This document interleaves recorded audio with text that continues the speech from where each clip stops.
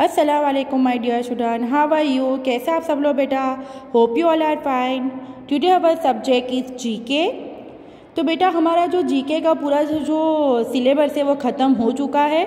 अब हम लोग आज से स्टार्ट कर रहे हैं हमारा रिवीजन ओके बेटा तो पहला जो हमारा चैप्टर था फ्रूट एंड वेजिटेबल्स तो ये आज मैं आपको रिवीजन में करवा रही हूँ। ये आपको कहीं पे लिखना नहीं है, सिर्फ़ आपको रिवीजन करके याद करना है और अच्छे से इसको रीड करना है। देखो यहाँ पे बेटा, यहाँ पे हमें बताया गया है कि हेल्दी फ्रूट और वेजिटेबल्स है, वो हमें यहाँ पे नाम बताए गए थे।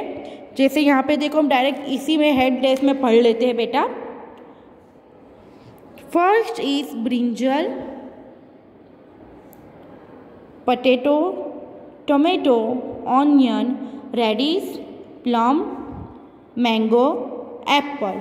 तो यहाँ पे सारे बेटा हमें यहाँ पे नाम दिए गए हैं। जैसे ये पटेटो है, एप्पल है, मैंगो है प्लम है, टोमेटो है रेडिस है, ब्रिंजल है ऑनियन है, राइट? तो यहाँ पे हमें यहाँ पे इसका स्पेलिंग है, वो फ्रूट की हमें यहाँ पे उसको फाउंड करना था और हमें यहाँ पे उसको सर्कल यहाँ पे स्क्वायर बना के उसको करना था। ये हमारा कंप्लीट हो चुका था। ओके?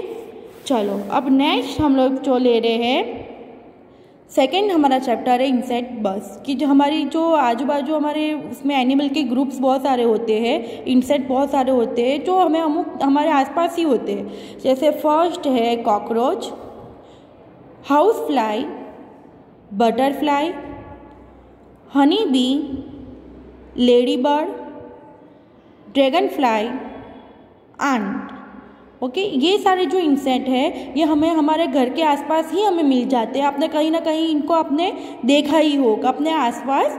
ओके तो ये सारी स्पेलिंग है, आपको याद रखनी है। आपको फ़ोटो भी, आपको जो पिक्चर है, वो भी आपको याद रखने कि इसको क्या कहते हैं। जैसे इसको हाउस फ्लाई कहते हैं। क्योंकि कुछ कुछ नाम हमें पता होते हैं, जैसे बटरफ्लाई हमें पता है कॉकरोच हमें पता है राइट हनी बी आंट हमें पता है, पर ये लेडी बर्ड हमें पता नहीं है। फिर ये ड्रैगन फ्लाई हमें पता नहीं है। उनको हम देख, देखते तो है, पर हमें पता नहीं चलता कि इसके कहते क्या है जैसे ये हमारी जो मक्खी होती है, इसे मक्खी नहीं कहते, इसे हाउस फ्लाई कहते हैं राइट तो आज के बाद जब भी आपको ये सारे इंसर्ट में से कुछ भी दिखे तो आप उसको इसी तरह बोलिए। तो आपको भी लगेगा कि आपने कुछ सीखा है राइट तो आपको इसी तरह नाम बोलना है, जैसे मक्खी देखो तो हाउस फ्लाई बोलो राइट अब हम लोग ले रहे हैं हमारा थर्ड एनिमल वर्ड तो बेटा यहाँ पे जो सम एनिमल है many animals live on the earth के बहुत सारे एनिमल्स हमारे ऊपर, हमारे अर्थ पे रहते हैं। They have international feature which help us identity form कि हमें बहुत सारे जो है वो हेल्प करते हैं। तो पहला है हमारा, कि हमें यहाँ पे दिया गया है उसका आइडिया नहीं करना है, यहाँ पे हमें वो सेंटेंस दिया गया है। It is called the ship of the desert कि वो वहाँ का डेजर्ट यानी रण प्रदेश का वो सीप है, यानी वो वहाँ है।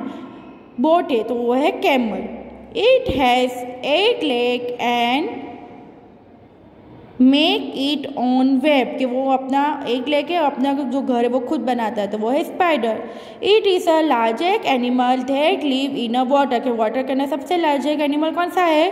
Blue whale it has black and white stripe on its body तो वो कौन होगा? Zebra it is a Indians national animal तो वो तो हम सब जानते हैं, वो है tiger has part sharp spring on its body to protect himself तो वो कौन है? पॉर्क्यूपाइन ओके बेटा तो यहाँ तक कि जो हमारे रिवीजन है, आज हम लोग तन तीन चैप्टर तक के ही रखते हैं बेटा। क्या आगे वाले रिवीजन में आपको नेक्स्ट वीडियो में समझाऊँगी? आपको इसमें कुछ भी लिखना नहीं है, सिर्फ़ आपको रीड करना है और अच्छे से समझना है, वापस आपको रिकॉल करना है सब कुछ ओके अल्लाह हाफिज़।